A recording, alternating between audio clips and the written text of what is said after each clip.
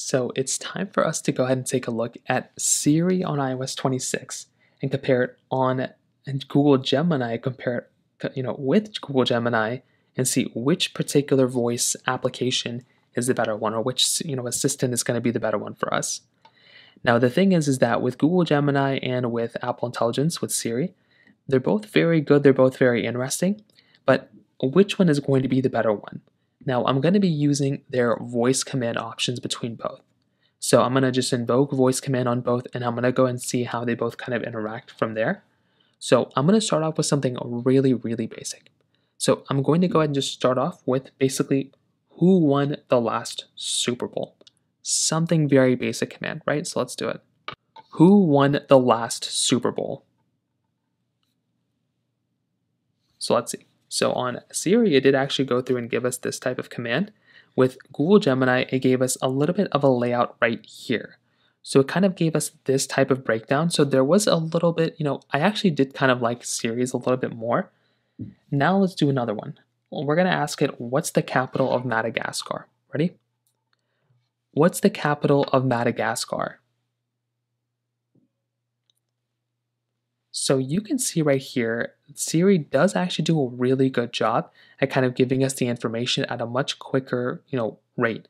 It gave us this, and if we click on it, it does actually bring us into where that information was actually taken from. On the Google Gemini side, this is something really interesting. It gives us this information, no pictures, no nothing, but the text, it does show us the text, but it is actually much faster on Siri on iOS 26, and I feel like it gave me a better type of layout. If I click on sources, you can see it does kind of give me exactly where it got that information from. And if I click on this, then it will open up its own web browser and then give me that type of information from there. So now let's go and kind of do some more, right? So let's test out something else. Let's go and hop out of here. Let's go and get back into here. Now let's do some mathematics. Okay, so let's go and say, let's do some conversion with some euros. Can you convert $100 to euros? So look at how much faster it is on Apple Intelligence on Siri over Google Gemini. So it does give us the pretty much the same amount of numbers. It gives us, you know, good things so far. So that is something that's actually really, really cool for itself. Now, within Google Gemini, I don't know within, you know, iPhones if it gives us the capability of kind of going through and, you know, kind of doing anything else, you know, for phone. Like I don't think I can set an alarm with it. One thing though is that we should have the capability of typing to Siri, but I don't see that type of capability here. Now, I I tried to kind of mess around with it. I think the iPhone 16e does support type to Siri, but I will say there's way more devices that are supported on Google Gemini than with you know this one. So you can see type to Siri is enabled. Double tap the bottom you know edge of the iPhone to type to Siri. So let's try this out. So we do have the ability of typing to Siri as well. So we can type, we can talk. So that is something that's nice between both. So let's go and start a conversation now.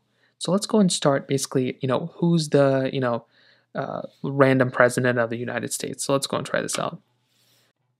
Who's the 30th president of the United States?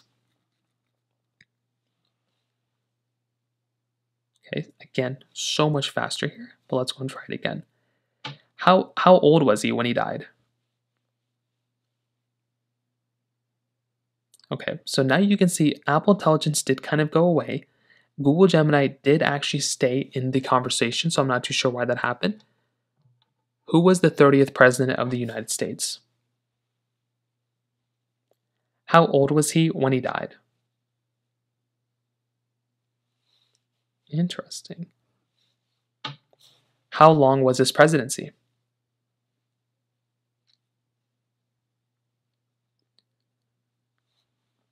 So they both do a good job at giving us the information. Now, I like how on the Google Gemini side, it's a dedicated application. I can see the history of this application and the conversation. With Apple Intelligence, I don't know if I can see the history of these applications, like of the search history that I had. So I will tell you with Apple Intelligence, it is nice to have that type of layout. I think it's actually a nicer looking layout and it is much faster when it comes down to it. With Google Gemini, I like how it's a separate app I like how I can see all like everything going on before it and I can see the history of the application. And I I do notice that for the most part, kind of going through the conversation, it is a much faster experience on Apple Intelligence than on Siri. What I don't like is how it just automatically will just keep going in the conversation, even if I'm talking. So I would like it to where I can click a button and then it goes to the next thing or like I hold down a button for me to speak. I don't like it how like when I'm like talking, it'll keep hearing what I'm saying. That's one of the biggest pitfalls with Siri. I wish there was a way for me to like pause it and then go into it. There might be a way, but so far from what I'm seeing between both, Apple Intelligence, you know, Siri on Apple Intelligence and Google Gemini, both do a pretty good job. You know, I, I like both. I think Apple Intelligence Siri, you know, is faster, but I do feel like the lack of a dedicated app and the lack of like me being able to stop it when I don't want it to hear me anymore is a little frustrating. But I do think it's faster and I like the layout of it more. With Google Gemini, I think this is a really nice looking, it's a good looking app. I feel like Google Gemini does do a really good job at kind of, you know, giving me a dedicated app which is cross-platform. It's also available online.